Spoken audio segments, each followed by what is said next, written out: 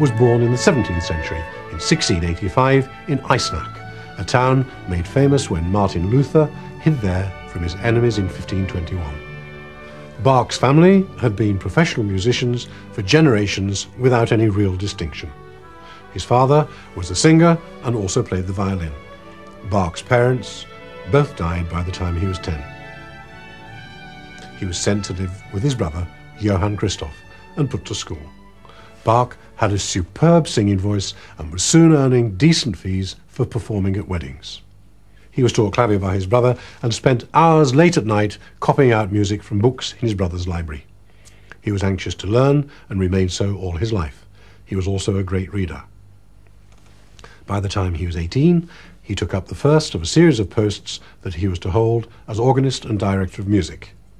He had three principal appointments in his life at Weimar, Köthen, and at Leipzig.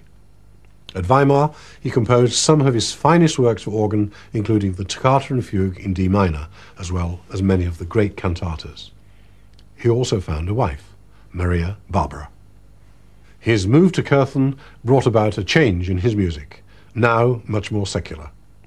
There was little time for religious music at the Calvinist court of Köthen. Here, where the Duke kept a decent sized musical establishment, were the instruments and the opportunity for Bach to develop his orchestral skills.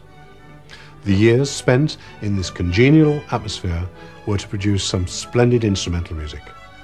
Concertos for violin, for keyboard, including the Italian Concerto, the first book of preludes and fugues for clavier that has become the Bible of all serious students of music, the Brandenburg Concertos and the overtures, or suites as we call them now, for orchestra, of which number three in D major is a fine example.